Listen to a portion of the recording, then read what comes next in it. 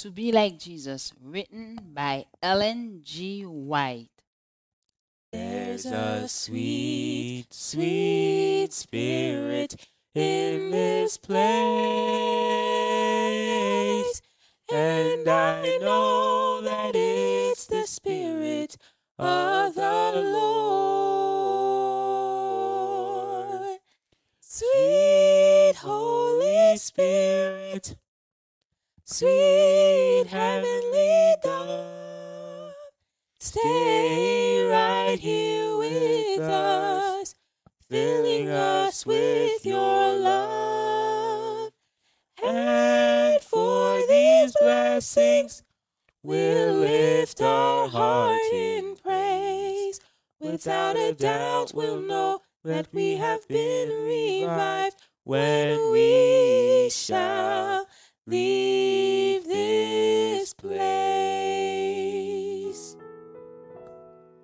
Exploring God's Word, April 9th. To find the word interesting, receive the Spirit. Let my cry come before you, O Lord. Give me understanding according to your word. Psalm 119, verse 169. The Bible has been placed in the background, while the sayings of great men and women, so called, have been taken in its stead. May the Lord forgive us the slight we have put upon His word. Though inestimable, treasures are in the Bible, and it is like a mine full of precious ore. It is not valued, it is not searched, and its riches are not discovered. Mercy and truth and love are valuable beyond our power to calculate. We cannot have too great a supply of these treasures, and it is in the Word of God that we find out how we may become possessors of these heavenly riches. And yet, why is it that the Word of God is uninteresting to many professed Christians?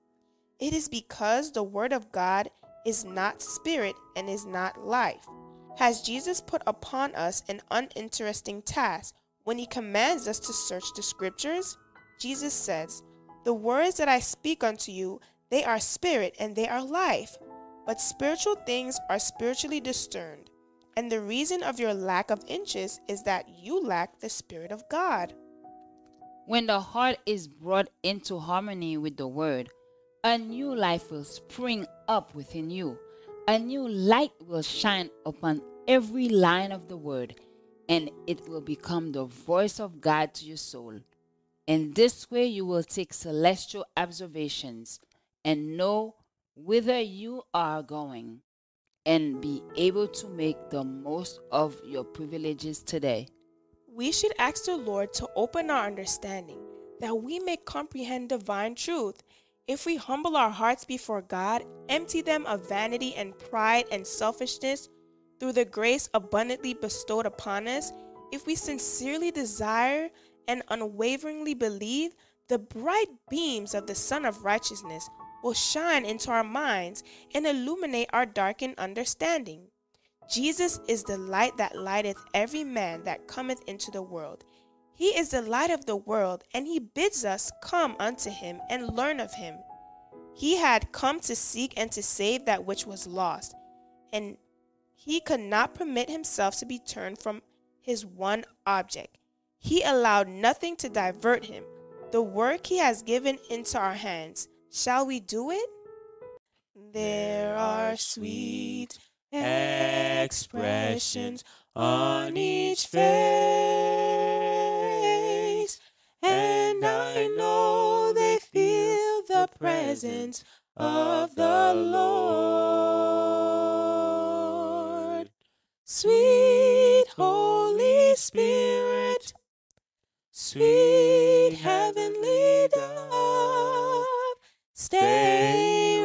here with us filling us with your love.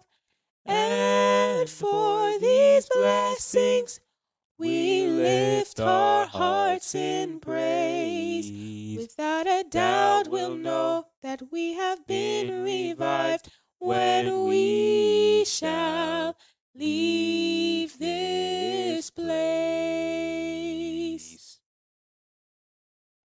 Join us tomorrow for another devotional reading by God's grace.